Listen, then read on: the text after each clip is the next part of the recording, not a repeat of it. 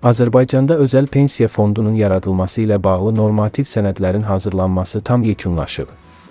Bunu Dövlət Sosial Müdafiə Fondunun sədri Himalay Məmişov qurumun hesabat tədbirində deyib. O bildirib ki, sənədlər razılaşdırılması üçün bir ay ərzində dövlət qurumlarına göndəriləcək. Bəs özəl pensiya fondlarının yaradılması pensiyaçılara hansı imkanlar yaradacaq? Məsələ ilə bağlı Milli Məclisin İqtisadi Siyasət, Sənaye və Sahibkarlıq Komitəsinin üzvü deputat Vahid Əhmədov açıqlamasında bildirib ki, özəl pensiya fondlarının yaradılması vətəndaşlara seçim imkanı verəcək. Bir neçə ildir ki, bu barədə Milli Məclisdə fikirlərimi bildirmişəm.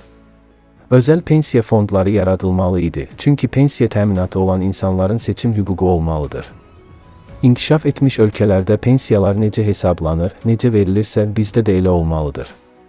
İnsanların seçim hüququ olduqda onlar daha çox mənfəət əldə edə bilirlər. Bu barədə dəfələrlə Milli Məclisdə fikirlər qaldırmışdım və bildirmişdilər ki, lazımi qurumlarda bununla bağlı işlər gedir.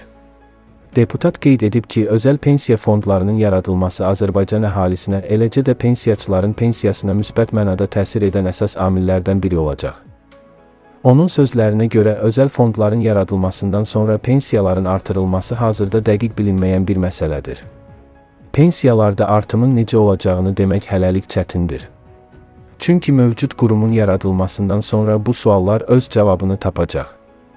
Amma ümumi olaraq bunun vətəndaşlara çox müsbət əhəmiyyəti olacaq.